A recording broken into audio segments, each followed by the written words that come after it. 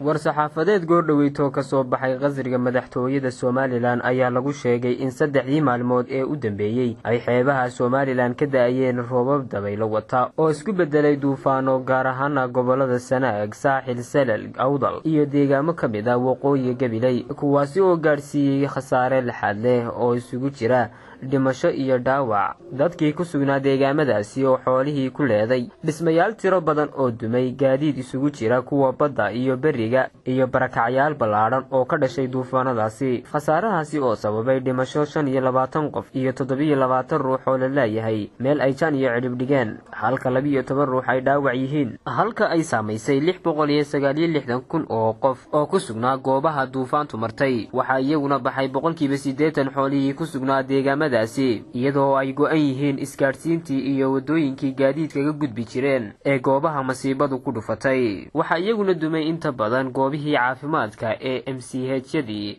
iyo dugsiyadii waxbarashada ee ka qayb qaadan lahaa samata bixinta dadka ay saamaysay duufaantu. Iyadoo xukuumadda somalilan ay tan iyo intii masiibadu dhacday ku jirtay gurmad iyo gargaar loo fidinayo dadka masiibadu. Iyadoo xukuumadda somalilan ay tan iyo intii masiibadu dhacday ku jirtay gurmad iyo gargaar loo fidinayo dadka masiibadu soo gaadhay lagana daadgureeyey dadkii ku go-doonsanaa goobahaasi islamarkaana la howlgeliyey cid kasta oo arrintaasi khusayso.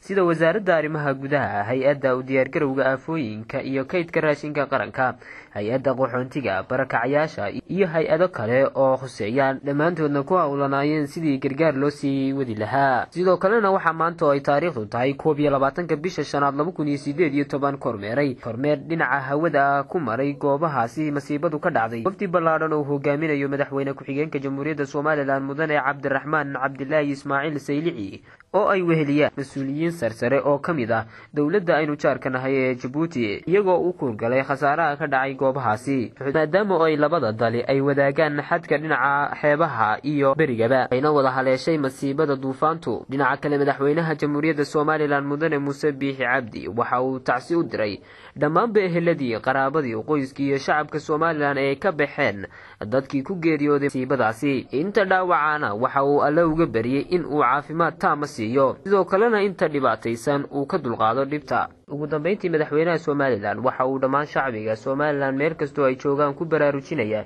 in ay gargaar iyo gurmad deg deg ah ku geystaan masiibadaasi gaar ahaana ganacsatada dalka. Sidoo kale madaxweynuhu waxa uu beesha caalamka iyo hay'adaha caalamiga ahba ugu baaqaya inay gacan ka geystaan gurmadka masiibadaasi. Bedri axmed maxamed bedri saqare telefishinka caalamiga ee badcas t v magaalada hargeysa